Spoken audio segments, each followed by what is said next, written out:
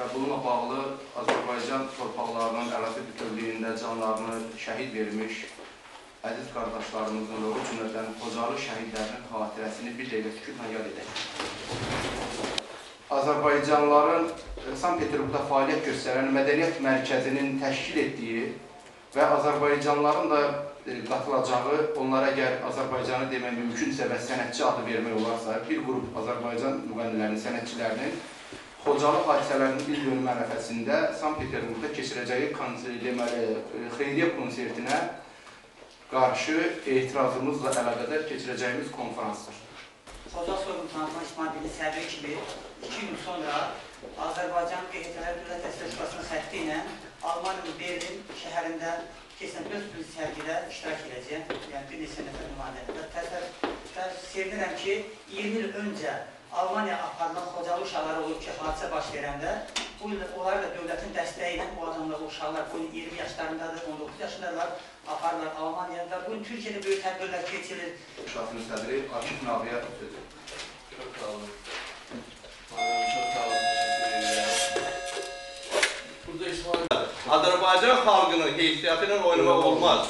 Xocalıların şəhidlərinin ruhları qarşısında bu cür hərəkət eləmək olmaz. Bunu biz bağışlamamalıyıq. Də mən deyirəm ki, bu kiminsə kaprizi, kiminsə e, deyək ki, hər hansı bir e, hərəkəti deyil. Bu milli bir məsələdir. Bu məsələdə güzəşt yoxdur. Mən isə bilirəm, güzəşt mövqeyə dayanmalıyıq. Təşəkkür edirəm.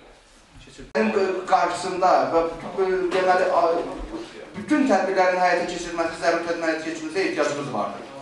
Bu məsələdə müxalifət, bu məsələdə hökumət, e, qeyri-hökumət, e, iqtidar məsələsi yoxdur. Bu bir milli məsələ. Fevralın, martın biri, 10-u, 15-i 3000 nəfər insana milləti dəvət edirlər, buna gəlin.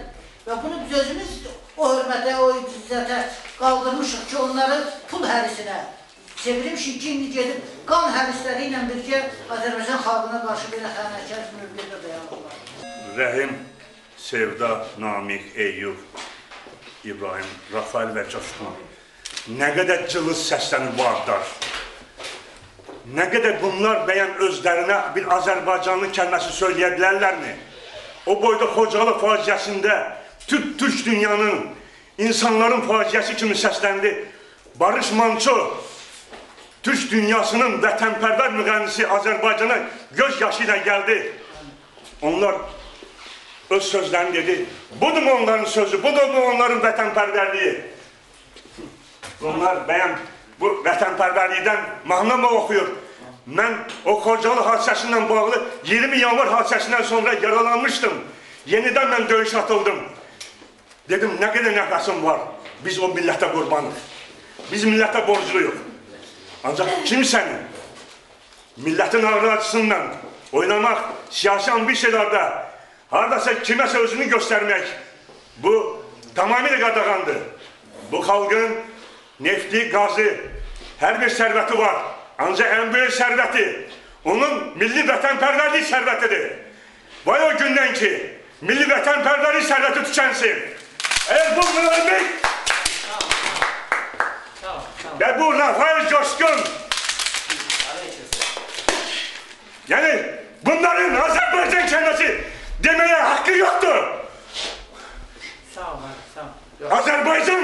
yaşayacaq. Onu sevənlərin uğrunda. Mən Azərbaycanın bayrağı uğrunda 20 yanvarda yaralanmışam. Arı olsun onlara.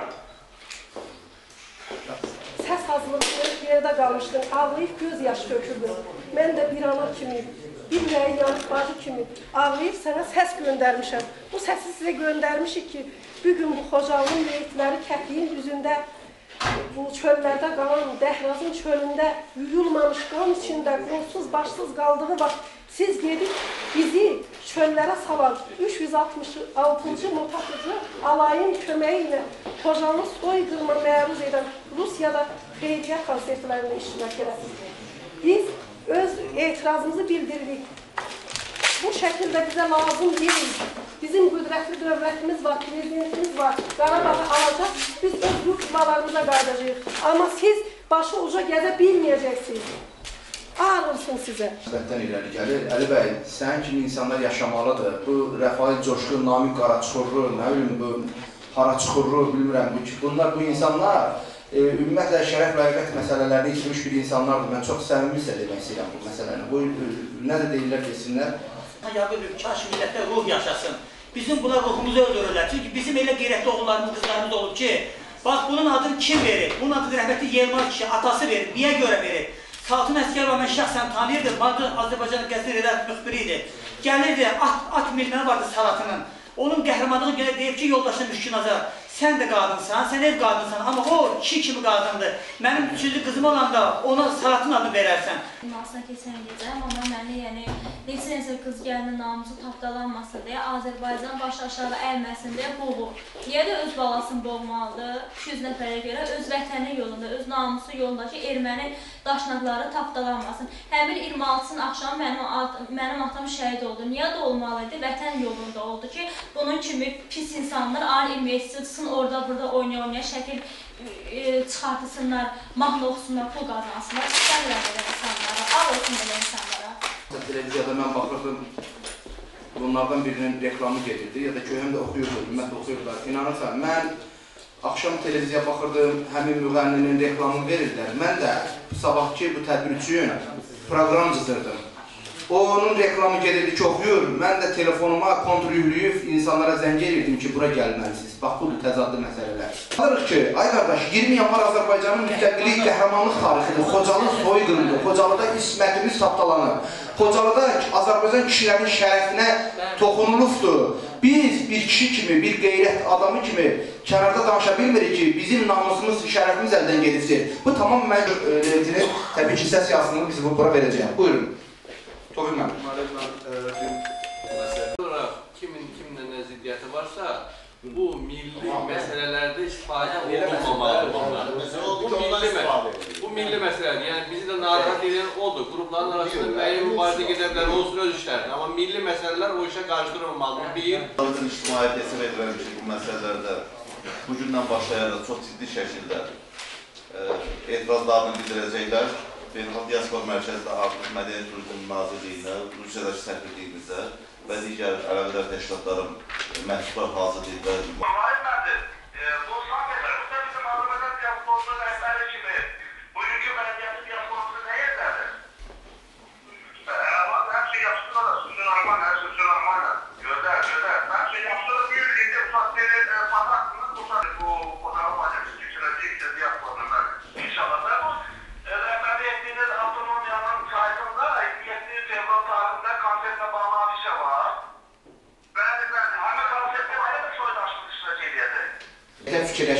burada bir qərəz varsa, çox böyük yanlışlar yol verir. Biz ondan xahiş elədik ki, sən bu fikrindən daşın. Bu ümumi həm sənə, həm ümumi hamımız üçün millətimizə ziyan gətirəsi bir şeydir. Xahiş elədik ondan. Özünüz görürsünüz. Hələ ondan sonra APA danışıb, sonra Ailə televiziyası danışıbdı. Onun yenə fikirdə qalıb ki, yox 20 il keçib toyla qardaş gətirilən beş məkan. Biraz etməsəniz belə, tədbir iştirakçıları adına, təşkilatçılar adına biz bu gün Sankt Peterburqun merinə bu tədbirin keçirilməsinə bağlı biz etiraz məktubu göndərdik ki, sən Azərbaycanda böyümüsən, Azərbaycan ədəbtənəsini bilirsən ki, hansısa bir ölü öləndə ən azından onun üçün gözləyirdilər. Üçün gözləyirdilər, yetsin demirəm. Diqqətinizə görə çox sağ olun.